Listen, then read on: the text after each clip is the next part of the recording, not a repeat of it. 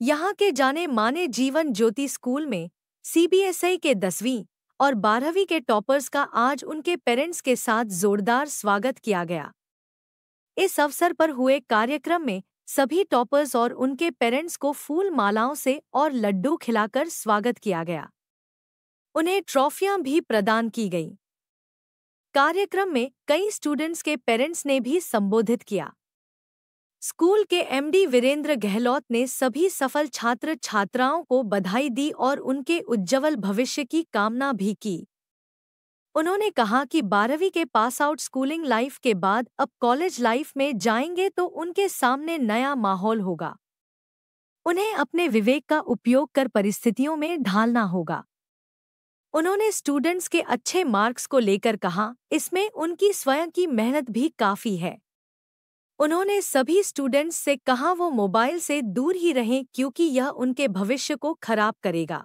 Sir सबसे पहले तो मैंने जो एकेडमिक्स एग्ज़ाम हुए थे हमारे क्लास ट्वेल्थ के उनमें 96.4 परसेंट लिए और अभी फ़िलहाल ही नीट का पाँच मई को पेपर हुआ था उसमें एक्सपेक्टेड स्कोर जो है वो 670 प्लस है। नीट की तैयारी यस सर नीट की तैयारी उसका एक्सपेक्टेड स्कोर जो जा रहा है वो 670 प्लस जा रहा है सर बड़े होकर डॉक्टर बनना चाहते हो यस सर बड़े होकर। आपके भाई भी डॉक्टर ये सर भाई पीजीआई रोहतक से एमबीबीएस कर रहे हैं। जीवन ज्योति स्कूल ने बहुत साथ दिया क्योंकि जो भी अचीवमेंट है वो तो सब स्कूल की है मेरा तो बस नाम है।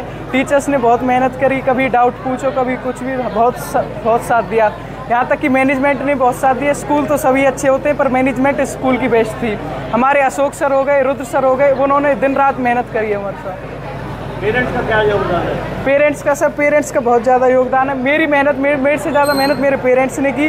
जब तक मैं पढ़ता वो मुझसे डबल पढ़ते थे। क्यों? मेरे से पहले उठना मेरे से बाद सोना। तो पेरेंट्स का बहुत ज़्यादा योगदान था। मीना जी आपके बेटे ने सफलता हासिल की है क्या कहेंगे? बहुत खुशी की बात है सर। और इसमें जीवन ज्योति स्कूल का बहुत बड़ा योगदान है। और बच्चे की अपनी मेहनत है जो उसने दिन रात पढ़ाई करके की है। गरुड़ क्लासेस का अशोक सर का सभी टीचर्स का जो मनदीप ने जिनको पढ़ाया है एमडी सर का बहुत योगदान है। शुरू से ही एमडी सर ने इसको साथ बहुत कोऑपरेट किया है और बच्चे की मेहनत सबसे ज़्यादा है। ये बता रहे हैं कि इनका भाई भी डॉक्टर है। हाँ जी सर इसका बड़ा भाई संदीप पीजीआई रोहतक से एमबीबीएस फाइनल ईयर में है। तो ये दोनों भाई घर में पढ़ाई का माहौल कितने बहुत बहुत अच्छा सर बहुत मेहनत करते हैं। फ़ोन वगैरह टीवी कुछ नहीं देखना इनको सिर्फ़ पढ़ाई से ही मतलब है।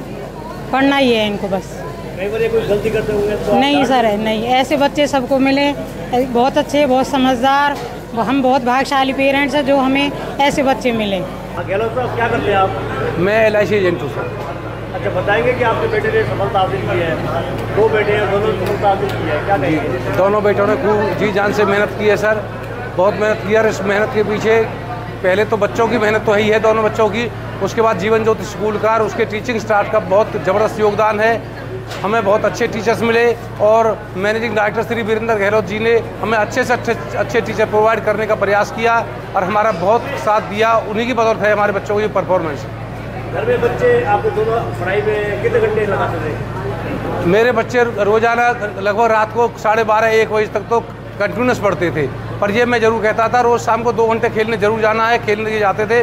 दो घंटे कुछ भी करो फ़ोन चलाओ खेलो कुछ भी करो मस्ती करो उसके बाद पढ़ो। ये नहीं है हर वक्त किताब लेके हमें दिखाने के लिए बैठे रहो। नहीं पढ़ना है तो पढ़ना है खेलना है तो खेलना है। कोई बंदिश नहीं थी मेरी तरफ़ से और ना मैं ना ही मैंने किसी बच्चे को आज तक धमकाया बस मेरे बच्चे प्यार से कहते थे उसी को मान जाते थे। जीवन ज्योति के लिए क्या कहेंगे? जीवन ज्योति स्कूल बहुत अच्छा स्कूल है मैं तो सभी अभिभावकों से ये कहूँगा अगर अपने बच्चों को सफलता दिलानी है तो जीवन ज्योति स्कूल की तरफ़ रुख करें और वास्तव में एक अच्छी संस्था है अच्छा स्कूल है अच्छे टीचर प्रोवाइड करते हैं। टेंथ में क्या स्कोर रहा था आपका? सर टेंथ में भी मैंने ऑल इंडिया रैंक सेवन्थ ली और डिस्ट्रिक्ट टॉप किया था 98.8 परसेंट के साथ। यस सर अब जैसे स्कूलिंग लाइफ खत्म होगी कॉलेज लाइफ आएगी तो क्या सपना है आपका? किस प्रकार से आप पढ़ाई करेंगे? सर सबसे पहले तो मैं अपनी एमबीबीएस को पूरे अपने हट कोर्स से पढ़ूँगा क्योंकि मेरे को ये लगता है कि मेडिकल साइंस इस आज की जनरेशन में जो कि ये पेशेंट्स की संख्या बढ़ती जा रही है इसके लिए वर्क करूँगा। और आगे अगर मेरी ऐसे ही पढ़ाई की तरफ़ रुझान रहा तो मैं यूपीएससी की तैयारी की सोच रहा हूँ। इसकी इसकी मेहनत में इसके बड़े भाई संदीप गहलोत का भी बहुत बड़ा रोल है। वो भी जब भी छुट्टी आता था हमेशा इसको मोटिवेट करता था। समझाता था केमिस्ट्री और बायो बहुत अच्छी तरह से उसकी परफेक्ट है वो उसको समझाता था। उसी की बदौलत हमें लग रहा है एक्सपेक्टेड स्कोर इसका केमिस्ट्री में तो 180 आउट ऑफ़ 180 ही आएगा। जो पहली होती थी अपने भाई से शेयर ये सर क्योरी भाई से या तो अकेडमिक से रिलेटेड हो या मेंटल प्रेशर से related I will I use to talk with my brother because my brother is my backbone he is like my another father because big brother is always a supporter कभी झगड़ा भी में yes sir जब एक साथ रहेंगे तो झगड़ा भी होगा but it's was not like that कि झगड़ा ही झगड़ा हो रहा है प्यार भी बहुत है। भाई मेरे को डांटते भी थे कि पढ़ाई कम कर रहा है या यस सर ये वो गाइडेंस करते थे मेरे को भाई कि ये कर ये कर मतलब कभी ऐसे कोई मुझे डिमोटिवेट नहीं होने दिया भाई ने। कभी रिपोर्ट को लेकर झगड़ा होता है? नहीं रिपोर्ट को लेकर कभी झगड़ा अच्छा क्या कहना चाहेंगे अपने अपने स्टूडेंट्स के लिए? अब सर, मैं स्टूडेंट्स के लिए यही कहना चाहूँगा कि आप अपने टीचर्स को फॉलो करें। और मैं तो एक बात जानता हूँ कि अगर आपको लाइफ में बेटर करना है तो जो हमारे प्रिंसिपल सर है, देवेंद्र सर सर इनके लाइफ मोटिवेटिंग जो सेशंस है, ये बहुत अच्छे होते हैं। इनकी एक भी लाइन मुझे आज भी याद हैं इन्होंने कहा था hard work beats talent when talent does not work hard क्योंकि कई बच्चे ये सोच लेते हैं कि हमें तो टैलेंट ही नहीं है पर एक बात याद रखना hard work is the key to success ये हमारे प्रिंसिपल सर जब भी क्लास लेते हमें यही बात बताते थे। तो सर क्या कहते थे? सर एमडी सर भी बहुत ज़्यादा सपोर्टिंग रहे क्योंकि मैनेजमेंट वो तो मैनेजमेंट से रिलेटेड है फिर भी उन्होंने बहुत सपोर्ट करा ऑलवेज मोटिवेटिंग सेशंस लिए और टीचर्स जो बेहतर से बेहतर हो सकते थे उन्होंने वो अवेलेबल करवाए। भव्या शर्मा। भव्य शर्मा। टेंथ में कितने मार्क्स आए आपके? मेरे 488 मार्क्स आए टेंथ में सीबीएसई से। अच्छा बड़े होकर क्या बनना चाहते हो?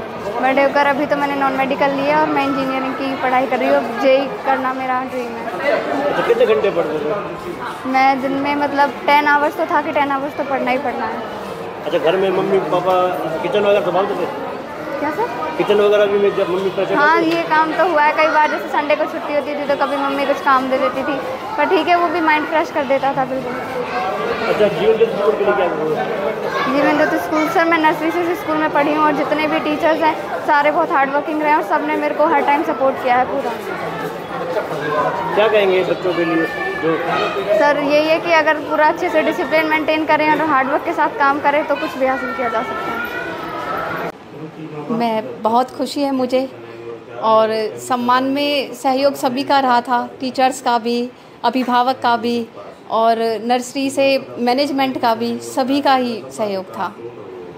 भव्या ने नर्सरी से यहाँ पर एडमिशन लिया हुआ है। हाँ जी। आप बचपन की यादें भी हैं फ़ोटो भी है। हाँ। क्या है वो फ़ोटो? फ़ोटो में एमडी सर इसे शील्ड दे रहे हैं और इसके टीचर्स खड़े हुए हैं और उसमें मैं भी हूँ। अच्छा कितने घंटे पढ़ाई करती है भव्या? भव्य यहाँ से जाके एक घंटे का ब्रेक लेती है उसके बाद अपना पढ़ने बैठ जाती है। घर के किचन में भी इनको आप हाँ? दरअसल क्या है मेरी इवनिंग शिफ्ट चल रही थी स्कूल में तो मैंने इसे आटा गूंदना वगैरह सिखाया कि मैं लेट आ जाती हूँ तो तू बेटा इतना काम कर दिया कर मेरी हेल्प हो जाएगी। शायद। अच्छा क्या कहेंगे पेरेंट्स के लिए आप? जो बच्चों को सफल सफलता हासिल हो पेरेंट्स के लिए क्या कहेंगे आप? मैं ये कहना चाहूँगी कि सभी पेरेंट्स ना बच्चों की बात को प्रायोरिटी दें। मतलब वो अपनी इच्छाएँ बच्चों पर थोपे ना। आप खुद भी जॉब करती हैं? हाँ मैं खुद भी जॉब करती हूँ। क्या जॉब है? मैं गवर्नमेंट टीचर हूँ किटवाड़ी स्कूल में। तो भव्या जब एक एक घंटे का ब्रेक लेती थी पढ़ती थी तो आप उसकी किस प्रकार से हेल्प करते थे? कोई क्वेरी वगैरह भी आप उनको सॉल्व करते थे जब एक घंटे का जो ब्रेक होता था ना यहाँ से जाने के बाद ये सारा स्कूल में जो जो हुआ किस किस टीचर ने क्या पढ़ाया कैसे पढ़ाया क्लास में किस बच्चे की क्या हरकत थी वो सब कुछ मुझे एक घंटे में बताती और इसको मैं खाने के लिए देती रहती और ये बताती रहती थी। कि कितने बच्चों ने सफलता हासिल की थी? कितने टॉपर्स को सम्मान किया गया? लगभग सीरीज़ को काफ़ी छोटा करके 40 बच्चों की लिस्ट थी जो आज सम्मानित किए।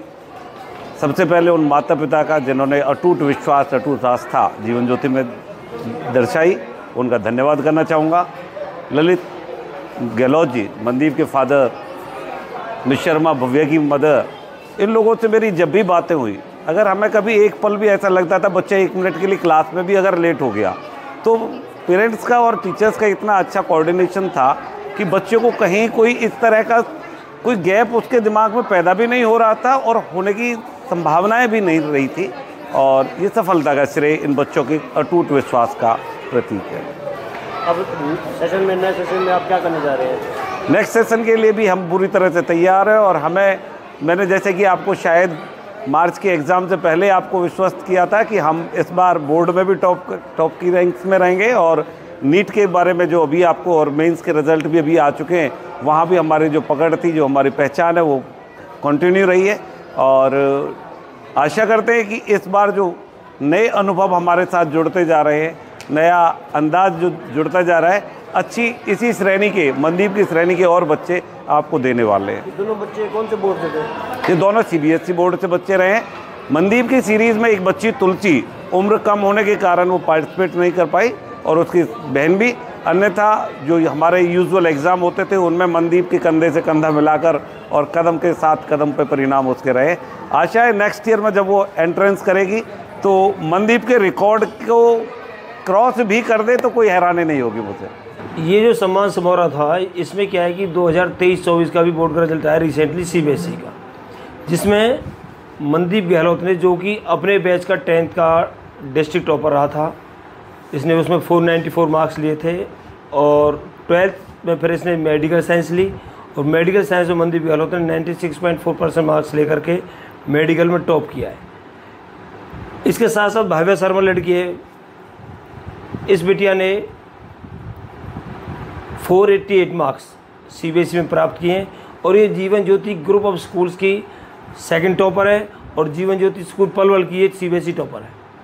तो दोनों ही बच्चे बड़े होनहार इनके पेरेंट्स भी बहुत अच्छे हैं, जिन्होंने पेरेंट्स को अपने टीचर का साथ दिया और बच्चों का अथक परिश्रम ये रहा कि इन्होंने अपनी, जो पोजिशन थी मनदीप ने खास तौर से उसको मेंटेन करके रखा है। मंदिर ने टेंथ में क्या स्कोर किया था? टेंथ में मनदीप ने लिए थे 494 मार्क्स। और ये डिस्ट्रिक्ट टॉपर था। अब इसके हैं 96.4 482 मार्क्स आउट ऑफ़ 500 बिटिया? के 488 भाई भाई शर्मा टेंथ। और कितने बच्चे हैं जिन्होंने पोजीशन दी है? देखिए अगर जीवन ज्योति ग्रुप ऑफ़ स्कूल्स की हम बात करते हैं तो इसमें लगभग पाँच बच्चे ऐसे हैं जिनके 489 और 488 और 487 मार्क्स हैं। तो, डिस्ट्रिक्ट लेवल पर कोई पोजीशन ऑफ़ हाँ फ़र्स्ट पोजीशन है मनदीप गहलोत की। जिस तरह से पहले देखा जाता था हरियाणा स्टेट लेवल पे पोजीशन आती थी वो जीवन ज्योति कहीं ना कहीं उसको। एक्चुअली में कोई बिल्कुल मिस नहीं अब भी हमारा हरियाणा जो बोर्ड का रिज़ल्ट है वो भी अच्छा है लेकिन बच्चे जो आज की डेट में अच्छा अच्छा जो बच्चा है वो और पेरेंट्स उनका रुझान सी की तरफ़ ज़्यादा है इसलिए बहुत अच्छे जो बच्चे होते हैं सी बी एस ई में कन्वर्ट हो जाते हैं। तो सी बी में हमने कंटिन्यू टॉप किया है। अभी मंच से आपने एक बात कही थी जब सम्मान समारोह चल रहा था कि दिल्ली आगरा के बीच में तीन साल में हम ऐसा कोचिंग सेंटर देंगे कि इस स्कूल से बच्चे जो कर स्कूल से कर रहे हैं फिर कोचिंग सेंटर आपका कोई अलग चल रहा है? बिल्कुल हमने अलग कर दिया इस बार गरुड़ क्लासेस के नाम से नियर सरस्वती कॉलेज और सारी एकोमोडेशन जो अच्छे अच्छे इंस्टीट्यूट में वो हम प्रोवाइड कराएँगे और सारी फैकल्टी हमारी बाहर की थी। मनदीप को भी उसी फैकल्टी ने पढ़ाया भाग्य भी उसी फैकल्टी के साथ पढ़ रही है। जितने सारे टॉपर्स बच्चे थे हमारे सब गरुड़ क्लासेस ज्वाइन कर रखी है। और जगह मैनेज करोगे उसी फैकल्टी से क्लास नहीं नहीं कोचिंग प्योर अलग कर दिया है। कोचिंग स्कूल परमिशन नहीं थी लास्ट ईयर स्कूल परमिशन थी लेकिन इस बार कोचिंग गरुड़ क्लासेज हमारी अलग हो चुकी हैं और बच्चे हमारे वहीं जाते हैं सारी फैसिलिटी वहाँ प्रोवाइड हम उनको कराते हैं। जो गरुड़ जो क्लासेज है वो आपके जीवन ज्योति का अंग है या अलग हो गई है? भूटानी जी एक्चुअल में क्या है कि ये Jeevan Jyoti group of schools का एक पार्ट्स है। अलग और तो एक तो सब कुछ एक ही है। आपने मोबाइल के पेरेंट्स पे तो अलग बर्डन पड़ेगा उसका। पेरेंट्स पे तो अलग बर्डन पड़ेगा। नहीं नहीं नहीं।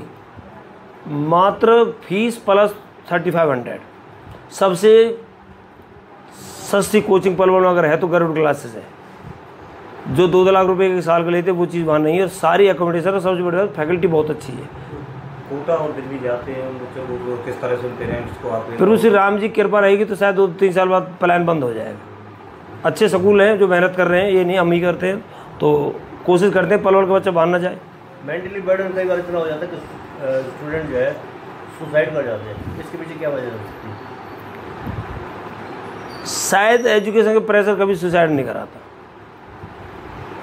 हाँ लोग जोड़ देते हैं भाई बच्चे पर मेंटली प्रेशर था। जो बच्चा मेंटली प्रेशर रहेगा वो इंस्टीट्यूट जाएगा ही क्यों? मेरे हिसाब से उसके पीछे कोई और का ज़रूर रीजन होता है।